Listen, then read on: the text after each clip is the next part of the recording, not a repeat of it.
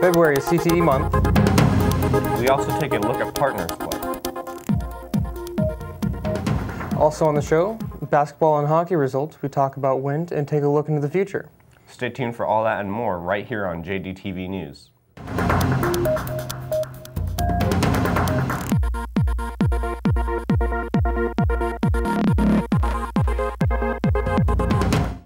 To today's news. I'm one of your hosts, Kai Crocker. And I'm Tyler Morgan. Let's get on to the news. With Juneau Police Department creating the Year of Kindness, a group of students and staff decided to create their own program at JDHS. This club is pretty doing is, sorry. This club is doing some pretty neat things for our community. Hello, my name is Will. I will introduce you to a new club at JDHS called Partner Club. It's basically a way of helping students, regular education students and special education students, get together and be more active together in things in the community. So there's lots of ideas of what we could do, and there's different activities we could do, and we're just slowly starting to get the ball rolling on it. I love being able to um, do uh, craft things. So we craft, we cook. Um, everybody that comes in has a smile on their face. We listen to music, we have a good time, and everybody's happy. Partners Club was restarted this year. Years ago, we had what was called Friends Club. And when Ava Mead came to school this year. Her sis- older sister had been in Friends Club, and she asked if we could restart that club. We decided to restart Partners Club because it's supported by Special Olympics and it ties nicely into some of the other programs we have around school. This year, before the 2017 Kindness Challenge, we actually went down to IGA and we handed out kindness cards. So we actually started that before even the 2017 Kindness Challenge came aboard. And we also will be starting a um, mobile hot chocolate unit that we're going to be um, going around town and bringing hot chocolate to people. And we're also going to be playing um, games at the bridge with some the elderly in this town. And we're going to start doing that next week. Well, that is awesome stuff. Back to your desk. Thanks for looking, looking to Partners Club, Fubo. As you might have noticed, the walls in the Commons have been decorated. That's right, Kai. As always, Homecoming Week started off with the decoration of the walls in the Commons. Last Sunday, participants from all classes worked together to decorate their area based on their theme.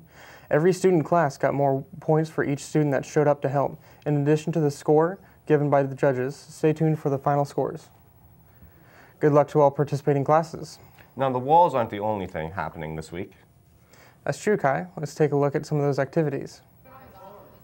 While most JDHS students are eating lunch in the Commons, some are chosen to participate in the homecoming activities.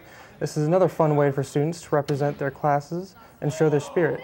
This week they have participated in quizzes and games like tug of war, cornhole, hungry hippos, and other activities. Today, during the assembly, we'll be watching students participating in the last homecoming activity this week. Each activity students participate in gives them a chance to win points for their class. With all the games going on, it may be hard to keep track of all the points we've accumulated. So here's Aaren with the update on the scores. Thank you, Kai. Well, the students have been hard at work this week. The scores so far are light, and the final scores are still to come. But so far, the students have participated in Mac Track and the wall decorations. First off was the Mac Track scavenger hunt back in November, where the juniors scored with 100 points. For the wall decoration, the freshmen landed 429 points, sophomores 460, juniors in the lead with once again 489 points, and seniors are close behind with a score of 481 points. And that brings you up to date with the homecoming scores. Make sure to cheer for your class. Back to you guys at the desk. Thank you, Aaren. This month happens to be Career and Technical Education Month. CTE Month, for short, is for students to explore different careers and job opportunities to help them get an understanding on what to do in the future. Let's jump into one of the CTE classes being taught at JDHS. This is the JDHS house build team. First project started the year 2010-2011 and are now building the third house today. For the year 2016 and 2017, about 12 people are working on the same house, which includes 10 students, a JDHS teacher, and a UAS teacher. Uh, I love teaching house build. It's it's a lot of fun. I like working with all you guys. Um, I never say that I'm going to work. It's always I'm going to school. I don't view it even as work, and it's fun to see students learning new things. And what a better way to showcase what a person knows than to be able to build something or do something or not trapped behind a desk. So it's pretty cool. Um, it definitely kept me out of getting uh, into other classes, and I didn't want to take any other classes, so yeah, I do. It's pretty great. I mean, we get to go outside, build a house for two periods. It's pretty fun, I'd say. We have a good group.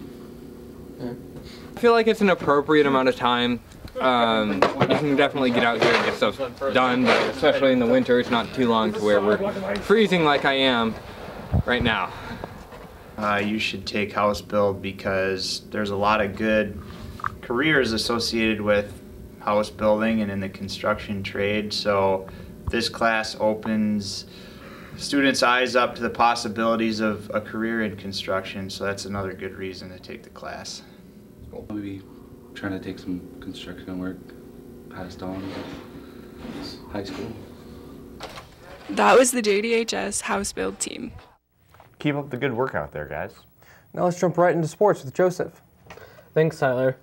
Last weekend, the Bears went fishing for king salmon and roared at the Falcons.